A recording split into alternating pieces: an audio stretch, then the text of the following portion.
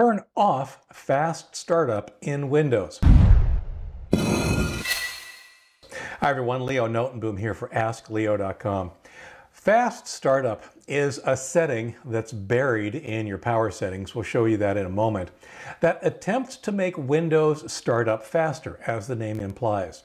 There are two problems with this. One is anecdotal evidence suggests that occasionally on some machines, they actually start up slower with fast startup enabled.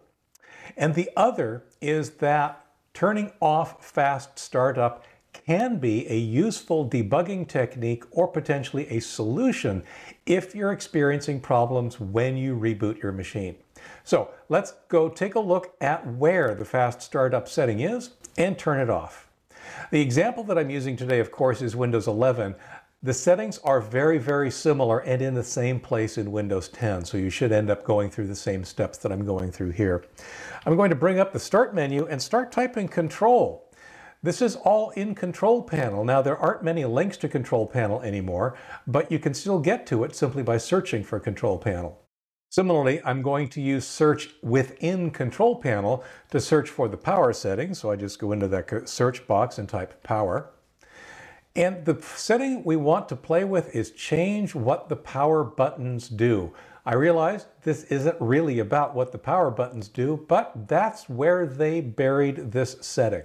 Now you can see the setting is enabled, fast startup is enabled, but I can't currently change it.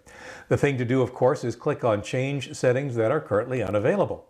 That enables the checkbox. We can then uncheck it and hit Save Changes. And we're done. Fast Startup has been turned off.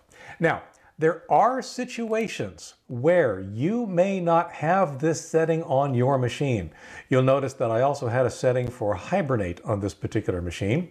Those Particular settings may or may not be enabled at all. The good news is that if you don't have a fast startup option, then you likely don't have fast startup and the complexity that it might add to your startup sequence should not be present.